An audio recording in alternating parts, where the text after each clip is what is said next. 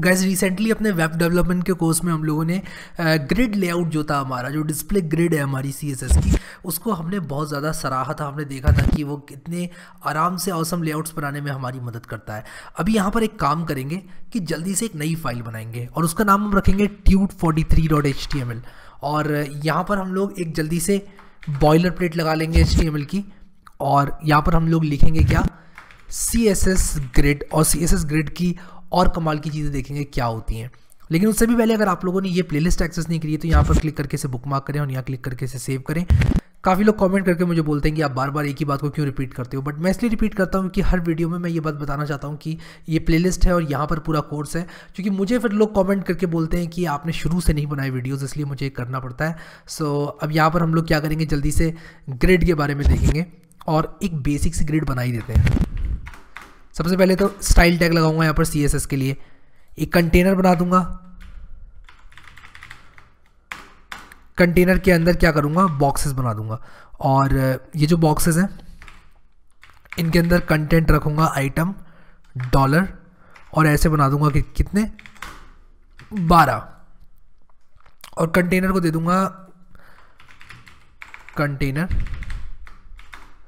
Container मैंने यहाँ पर लिखा और मैं यहाँ पर क्या करूँगा, इसको दे दूँगा डिस्प्ले ग्रिड ठीक है? और उसी के साथ साथ मैं क्या करूँगा, यहाँ पर बॉक्स को भी थोड़ी सी स्टाइलिंग करूँगा। Border two pixel solid black और यहाँ पर ग्रिड गैप डाल देता हूँ। ग्रिड गैप कितने डालूँ? वन रैम डाल देता हूँ। और यहाँ पर देखते हैं यार कैसा दिख रहा है। तो मैंने अभी तक लाइव सर्वर में तो चलाया नहीं। लाइव सर्वर अभी मैंने ऑन किया और ये देखो, ये इस तरह से दिखाई दे रहा है। तो अब मैं यहाँ पर आप लोगों को ये बताना चाहता हूँ कि किस तरह से मैं इसको अपने पसंद का लेआउट दे दूँगा। तो मैं यहाँ पर इसको बैकग्राउंड कलर भी दे देता हूँ और एक हल्का सा कोई लाइट सा कलर है वो देता हूँ, ये दे देता हूँ। स्पेलिंग ये काफ़ी खतरनाक है, इसको करना नहीं करना चाहता। लेकिन यहाँ पर मैं इसको दे दूँगा ये बैकग्राउंड और ये थोड़ा लाइट लग रहा है मुझे। तो मैं यहाँ पर अपने पिकर का इस्तेमाल करके कुछ इस तरह से इसको ऐसा बना दूँगा वी शुड बी फाइन मैंने यहाँ पर बॉर्डर कलर चेंज कर दिया मुझे बैकग्राउंड कलर करना चाहिए था। तभी मैं कहूँ कि ऐसा क्यों आ रहा है? अब देखो हाँ अब हो गया है हमारा जिस तरह मैं चाहता था वैसा हो गया है। सो so, पैडिंग दे देता हूँ थोड़ी सी थोड़ी ज़्यादा ही पैडिंग दे दी है बट शुड बी फाइन ठीक है? अब यहाँ पर हम लोग करेंगे क्या? कि देखेंगे कि किस तरह से हम इसको अपने हिसाब से सेट कर सकते हैं। तो देखो यहाँ पर मैं अगर ग्रेट टेम्पलेट कॉलम जिसके बारे में मैंने आप लोगों को पहले भी बताया था वो लिख दूँ।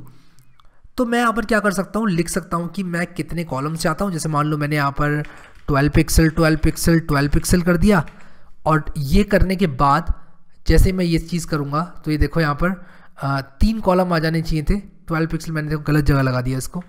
मुझे इसको अपने ग्रेड में लगाना चाहिए था। 12 पिक्सल 12 पिक्सल 12 पिक्सल तीन कॉलम्स आ गए 12 12 पिक्सल के ठीक है? और यहाँ पर क्या हुआ कि ये जगह लगता है थोड़ी सी कम पड़ रही है इनके लिए तो एक काम करते हैं, इनको बढ़ा देते हैं 112 112 कर देते हैं, क्योंकि 12 पिक्सल तो बहुत कम हो जाएगा। हाँ भी देखो, इसने 12 12 पिक्सल लेके अपने आप को जगह पर कर लिया है, ठीक है? अब यहाँ पर मैं क्या करना चाहता हूँ, मैं यहाँ पर आप लोगों को दिखाना चाहता हूँ कि आप यहाँ पर जस्टिफाई कंटेंट सेंटर कर सकते हैं और अलाइन आइटम्स भी सेंटर कर सकते हैं। तो जस्टिफाई कंटेंट सेंटर करने से सब कुछ बीच में आ गया। तो ये थी टेक्निक जिसकी मदद से आप लोग सेंटर कर सकते हैं आइटम्स को। लेकिन यहाँ पर अगर मान लो, मैं कुछ ऐसा करना चाहता हूँ कि जब भी मैं इसके साइज़ को चेंज करूँ तो मैं चाहूँ कि ये रिस्पॉन्सिव बन जाए। जैसे कि अगर अभी मैं इसको, इसके साइज़ को चेंज करूँ तो मुझे कुछ ज़्यादा खास मिल नहीं रहा है। और मैं एक काम करता हूँ अभी यहाँ पर, थोड़ा सा इसको चेंज करके one F R one F R one F R कर देता हूँ। और मैं इसको one F R one F R और वन एफ़ आर कर देता हूँ। ठीक है? और ये जस्टिफाई कंटेंट सेंटर हटा देता हूँ अभी के लिए। ये जस्ट मैं आप लोगों को सेंटरिंग करना दिखाना चाहता था। अब यहाँ पर देखो, मैंने इसको जैसे ऐसे कर दिया तो मैं इसको इतना भी छोटा कर दूँ तो ये जितने कॉलम्स हैं, उतने ही आ रहे हैं। लेकिन मैं चाहता हूँ कि कुछ फोल्डिंग वगैरह हो और ये मुझे ब्यूटीफुल लेआउट में दिखाई दे। जैसे मान लो अगर मैं इमेजेस वगैरह शो कर रहा हूँ अपनी ग्रिड की मदद से तो मैं चाहता हूँ कि कोई मेरा यूज़र जो कि फ़ोन में इस वेबसाइट को देख रहा है, वो इसको नंबर ऑफ़ रोज़ थोड़ी कम देखे। और जो बंदा इसको एक बड़ी स्क्रीन में देख रहा है, वो नंबर ऑफ़ रोज़ थोड़ी ज़्यादा देखे नंबर ऑफ़ कॉलम्स थोड़े ज़्यादा देखे। उसी हिसाब से जो है यहाँ पर काम हो जाए मेरा। अपने हिसाब से ये ऑटो एडजस्ट कर ले अपने आप को। तो इसके लिए हम लोग क्या करते हैं? यहाँ पर मैं क्या करूँगा, देखो ग्रिड टेम्पलेट कॉलम्स में मैं इसको भी यहाँ पर कमेंट आउट कर देता हूँ। और यहाँ पर मैं ग्रेड टेम्पलेट कॉलम के लिए जी टी सी लिखूँगा एंटर मारूँगा। और यहाँ पर मैं लिखूँगा रिपीट मैं रिपीट करना चाहता हूँ। सबसे पहले तो मैं यहाँ पर ऑटो फिट लिख दूँगा। ऑटो फिट लिखने से क्या होगा कि ये यहाँ पर उतनी बार रिपीट करेगा जितनी बार आवश्यक है, ठीक है? फिर मैं यहाँ पर एक मिन मैक्स लगाऊँगा। मिन मैक्स में मैं क्या करूँगा? मैं कहूँगा मिनिमम कर दो 400 पिक्सल यानी कि जो मिनिमम है वो 400 पिक्सल कर दो और मैक्सिमम वन एफ़ कर दो। यानी कि ये चीज़, ये वैल्यूज़ ये इंडिविजुअल वैल्यूज़ ये इंडिविजुअल वैल्यूज़ इस तरह सेट कर दो कि minimum 400 pixel maximum one F तो यहाँ पर ये करने से क्या मुझे मिलेगा फ़ायदा? मैं इसको बड़ा करूँगा तो देखो, एक रिस्पॉन्सिव टाइप का इसने मुझे लुक एंड फील दे दिया। ये देखो, मैं इसको इतना छोटा करूँगा तो ये ऐसे आ गया। तो ये सहायक होता है हमारा कहाँ पर? रिस्पॉन्सिव वेबसाइट्स बनाने में। अगर मैं चाहता हूँ फ़ोन में ऐसे दिखे। देखो, ये फ़ोन में रीड करना कंफर्टेबल है। और ये जो है, एक बड़ी पीसी में आप रीड कर सकते हैं बड़े आराम से। तो रिस्पॉन्सिव लेआउट्स बनाने की भी बहुत ज़्यादा काम आती है ग्रेड अब यहाँ पर एक चीज़ दिखाता हूँ आप लोगों को। यहाँ पर आइटम ट्वेल्व है अगर मैंने आइटम थर्टीन भी डाल दिया यहाँ पर तो क्या होगा, एक चीज़ दिखाता हूँ। तो बस ये है कि आइटम थर्टीन डालने से ये आइटम यहाँ पर आ जाएगा। लेकिन हो सकता है कि आप ये चाहें कि ये आइटम अपने हिसाब से नीचे को आ जाए या फिर आप चाहें कि ये आइटम जो है सेंटर हो जाए तो उसके लिए आप लोगों को अपनी खुद की सीएसएस लिखनी पड़ेगी। अब कुछ लोग क्या करते हैं मीडिया क्वेरीज भी इस्तेमाल करते हैं और मैं भी आप लोगों को मीडिया क्वेरीज लगाकर दिखाऊँगा ग्रिड के अंदर किस तरह मीडिया क्वेरीज लगा के आप लोग ये काम कर सकते हैं। लेकिन यहाँ पर बस ये बताना चाहता हूँ कि मिन मैक्स में क्या होता है, कम से कम कितनी इसकी विड्थ होनी चाहिए? तीन सौ कर दी अगर तो कम से कम क्या हो सकती है, तीन सौ हो सकती है। तो देखो यहाँ पर ये आ गई देखो। और यहाँ पर देखो जैसे ही मैंने यहाँ पर इसको बड़ा किया, ये देखो मिनिमम तीन सौ और मैक्सिमम कितनी? वन एफ़ आर यानी कि मैक्सिमम कितनी हो जाएगी? एक एफ़ आर हो जाएगी पूरी। एक आ जाएगा। अगर मान लो मैक्सिमम मैंने चार सौ कर दी मैक्सिमम चार सौ कर दी, तब क्या होगा ये देखना? मैक्सिमम चार सौ करने से क्या होगा? मैक्सिमम चार सौ ही रहेगी। मैक्सिमम एक काम करता हूँ वैल्यू थोड़ी कम करता हूँ यार। मैंने थोड़ी ज़्यादा कर दी वैल्यू मिनिमम एक काम करता हूँ थर्टी पिक्सल कर देता हूँ मैक्सिमम फोर्टी पिक्सल कर देता हूँ। तब देखो क्या होगा। ये इसको मैं ऐसे करूँगा तो देखो मिनिमम कितने ये कितने आइटम्स है? One two three four five six ठीक है? तो यहाँ पर क्या हो रहा है?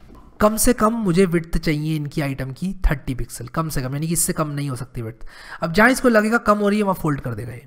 और ज़्यादा से ज़्यादा कितनी हो सकती है?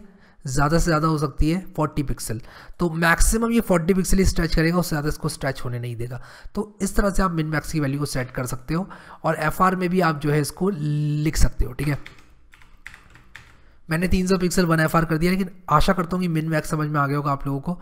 उसको रिलोड करता हूँ वापस से और यहाँ पर इसको जो मैंने रिस्पॉन्सिव दे रखा है, इसको ऐसे कर देता हूँ। वापस से रिस्पॉन्सिव इसको बनाऊँगा तो देखो अभी आ गया सही जगह पर। तो इस तरह से हम लोग जो है रिस्पॉन्सिव वेबसाइट बना सकते हैं ग्रिड की मदद से। अब वापस वही सवाल पे अगर मैं आ जाऊँ कि ग्रिड यूज़ करना है फ्लैक्स बॉक्स यूज़ करना है फ्लोट्स यूज़ करने हैं, या फिर सिंपल अगर हम कोई और सीएसएस लगा के काम कर सकते हैं तो वो कर लें। तो मैं कहूँगा कि एज़ लॉन्ग एज आप कंफर्टेबल हैं, आप कुछ भी यूज़ कर सकते हैं। बस मेन चीज़ क्या है, किस चीज़ का ध्यान रखना है आपको? डेवलपमेंट टाइम का। आपके डेवलपर्स को दिक्कत नहीं होनी चाहिए मेंटेन करने में वेबसाइट क्योंकि एक बार वेबसाइट बनाई तो ऐसा नहीं है कि वो एक बार बनी रहेगी। अनलेस आप उसके बारे में ज़्यादा केयर नहीं करते। अगर आप उसके बारे में केयर करते हैं तो डेफिनेटली आप चाहेंगे कि जो उसका डेवलपमेंट है वो कंटिन्यू रहे और वो वेबसाइट को आप कंटिन्यूसली इंप्रूव करते रहें। तो टाइम टू टाइम अगर इंप्रूवमेंट चाहते हैं तो आप एक ऐसी चीज़ इस्तेमाल करना चाहेंगे जो कि समझ में आती हो यानी कि कोड देखते ही समझ में आ जाए। अब जो अच्छे प्रोग्रामर्स होते हैं जो प्रोग्रामर्स होते हैं वो आ, अपने लिए कोड लिखते हैं और जो अच्छे प्रोग्रामर्स होते हैं वो दूसरे के लिए कोड लिखते हैं यानी कि दूसरे प्रोग्रामर्स के लिए कि उनको समझ में आए। तो एक ऐसा कोड लिखना जो कि दूसरों के समझ में आए एक बहुत अच्छी कला है। और ये कला आप लोग को आनी चाहिए क्योंकि आजकल के एम्प्लॉयर्स यही कला को देख रहे हैं और इसी कला के हिसाब से आपको बहुत ज़्यादा एप्रिसिएशन नौकरी या जिस भी फ़ील्ड में आप एक्सेल करना चाहते हैं, वो मिल सकता है। क्योंकि इसमें क्या होता है ना कि पैसे बहुत बच जाते हैं एक कंपनी के। अगर आप लोग एक ऐसा कोड लिखते हैं जो कि मेंटेनेबल है सो आई होप कि आपको समझ में आ गया होगा। हम लोग यहाँ पर ऑलमोस्ट हमने सी एस एस ख़त्म कर ली है। सी एस एस को एक अच्छा हम फिनिश देंगे और उसके बाद हम जावा स्क्रिप्ट की तरफ़ मूव करेंगे। सो आई होप कि आप लोगों को ये वीडियो पसंद आ रहे होंगे। अगर आप लोगों ने ये प्लेलिस्ट अभी भी एक्सेस नहीं करी है तो बुक मार्क कर लें इस प्लेलिस्ट को। बुक मार्क करके आप सेव कर लें इसको। यहाँ क्लिक करके बुक मार्क करें और यहाँ क्लिक करके इसको सेव कर लें। इससे होगा ये कि आपके यहाँ पर ये प्ले आ जाएगी तो आपको याद रहेगा कि आपको ये पढ़ाई भी करनी है। सो so, मैं अपने टाइम पर ऐसे ही पढ़ाई करता था। इनफैक्ट एक और टेक्निक मैं बताता हूँ आप लोगों को। मैं एडिट करके इसको कैप्स में कर लेता था और मैं कुछ इस तरह लिख देता था इंपॉर्टेंट स्टडी नाउ मैं वो टेक्निक्स आपको आपके साथ शेयर कर रहा हूँ जो कि मैं यूज़ किया करता था। वेब डेवलपमेंट स्टडी नाउ अब ज़रूरी नहीं इंग्लिश सही हो बट यहाँ पर मैंने इस तरह से लिख दिया इसको यहाँ पर खड़ा कर दिया तो मुझे याद रहेगा कि हाँ यार मुझे वेब डेवलपमेंट पढ़ना है। सो so, अभी मैं इस बुक मार्क को डिलीट कर दूँगा मैं अपना नॉर्मल बुक मार्क ही रखना चाहूँगा।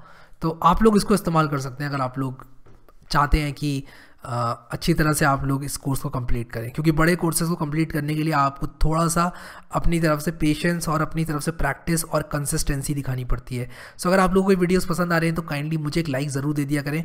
और उसी के साथ साथ ये प्लेलिस्ट तो एक्सेस आपने कर ही ली होगी। चैनल को भी सब्सक्राइब कर लेना अगर आप इस तरह के और कोर्सेज देखना चाहते हैं। अभी के लिए इस वीडियो में इतना ही guys thank you so much guys for watching this video and I will see you next time